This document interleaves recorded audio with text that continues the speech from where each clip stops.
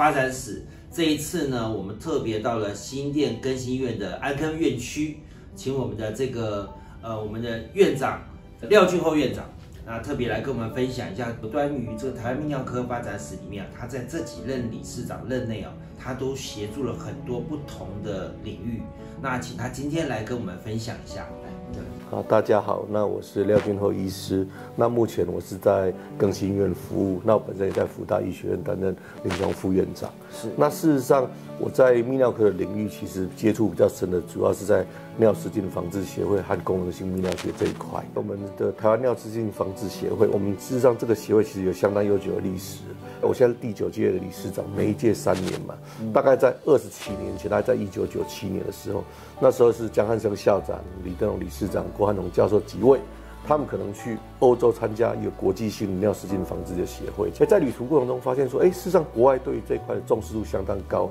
那这块其实不只是医师的参与，包括护理师、包括复健师，甚至医师不只是泌尿科、妇产科医师，事实上这一块的照顾其实常常需要透过多团队的合作才能够完成。所以当初他们就成立了尿失禁防治协会。那实际上这是跟国际有接接轨的，国际有所谓的 ICS 哦，国际性的尿控协会或尿失禁防治协会。那台湾就台 TCS。那事实上这一块领域不只是在台湾，哦，在日本有所谓的 JCS 日本的尿失禁防治协会，韩国有 KCS。所以事实上我们整体上在亚洲这一块，事实上我们有相当好的连接，包含跟日本、韩国甚至中国大陆，我们每年都有定期举办我们的就是亚太的泛尿控一个协会，所以这块我们相当。连接的相当好，那也透过这样的一个国际的交流，不只是那个做一些学术的一些交流，也让我们的照护的品质做更好的提升。嗯，那我们尿失禁防治协会的成立是在一九九七年，当初第一任的理事长是江汉生校长，是。那第二任跟第三任的理事长是呃林德龙教授，那第四任跟第五任的理事长是郭汉龙教授，那第六跟第七任的理事长庄二吉教授，是。那事实上，我本身参与这一块，主要是在二零一零年那时候，可能跟郭教授有做一些研究。那其实我们我本身是在台大训练，那台大训练的过程中，其实我们每个住院医师都会去花点实际去在功能性泌尿学这一块做一些学习。那在二零一零年开始，跟郭安崇教授有做一些临床上的研究。那透过这样的研究呢，慢慢在这方面就。对这方面的病人照顾能够做加更加提升，大概那时候就在他庄教授任内接六年的秘书长，那后来我接理事长六年，所以在这一块其实大概有十二年的一个对很长的一个历史经验，对很长。那你特别有在我们几任的理事长中协助了很多有关于尿失禁相关领域，可不可以在这边来跟我们分享一下哪几个理事长你大概做了哪些事情，也跟他们来做一些互动？其实。我想这几任理事长任内，其实我都有参与。是。那事实上，当初我那时候就是最早跟这块有接触，应该是在黄医生理事长的任内。是。当初那时候，在泌尿科医学会里面有所谓的妇女泌尿委员会，那时候主委是卢新华教授，他找我当副主委，所以那时候事实上就开始对这块领域有做一些接触。嗯。那黄医生教授之后，后来就是。郭就是郭教授是哦，那郭教授他郭理事长的任内，事实上他觉得我们这一块其实所谓的功能性泌尿学不只是妇女泌尿学，嗯，所以他其实那时候他其实他蛮有蛮大的期许，要把这一块领域做大，所以他除了功能妇女泌尿委员会之外，他要成立了间质性膀胱炎委员会，还有前列腺委员会，所以他希望把各个领域都都都弄起来，所以这一块当初就有。不止一个委员会的成立，那那时候他是有找我当副秘书长，那那时候就是我去做这方面一些统合。那这一块的话，实际上当初是希望透过各个委员会的设立，然后能够让各个领域都能够大家有发挥的空间。可是事实上泌尿科领域相当广，所以在蒲永孝理事长的任内，他又希望说，哎，我们既然是同同一家，是不是我们用分组就好了？所以把这几个委员会把它统合成所谓的。功能性委员会，所以那时候在蒲永孝理事长任内，其实我也是有去做协助这样一个统合。那事实上，在后来的吴文正理事长，他有请我当功能性的副理事长。所以事实上，在这一块一路走来，事实上对这一块泌尿科的发展，其实都有参与到。是，您刚刚特别讲到功能性这个问题啊，他这他的眼镜这一块也可以，是不是可以跟我们大家分享一下？对，所以其实我们知道说我们。排尿哈，就是说我们以前治病都只有治说啊，结石把它拿掉，癌症拿掉，这只是治疗疾病而已。可是事实上我们知道，排排尿的功能对我们来说是相当重要。我记得以前不知道哪个前辈说的，事实上能不能够控制我们的尿意，事实上是我们男生尊严的最后一道防线。当你连自己的尿尿都没办法控制的时候，很多事都没办法控制。是，那过去哎，我们就是说，例如说前列腺，我们只注重说肥大，把它刮除就好了。可是。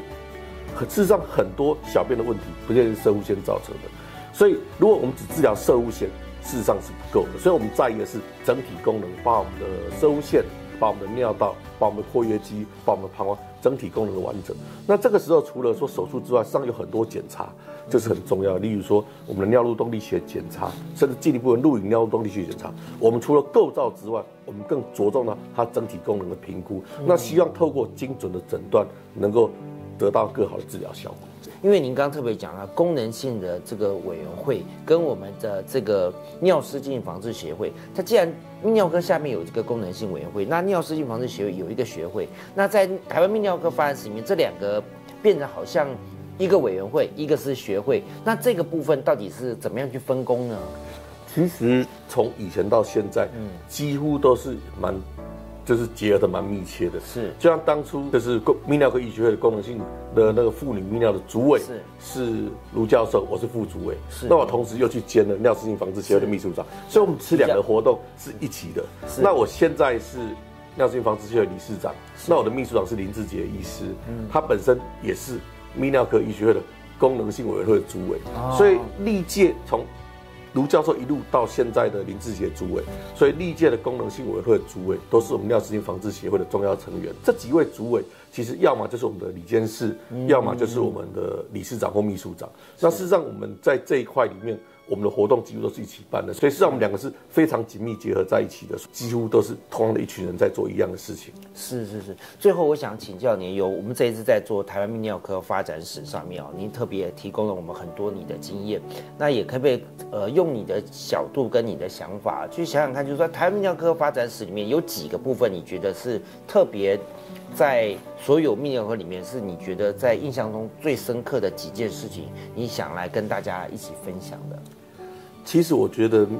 泌尿科医学会的理事长每一任其实都做了蛮多事情，因为我比较有参与的是黄医生理事长。黄医生理事长其实当初他那时候就是有跟 EAU 有做一些开始交流的一个接触。嗯，那郭汉总理事长事实上他那当初事实上他做了蛮多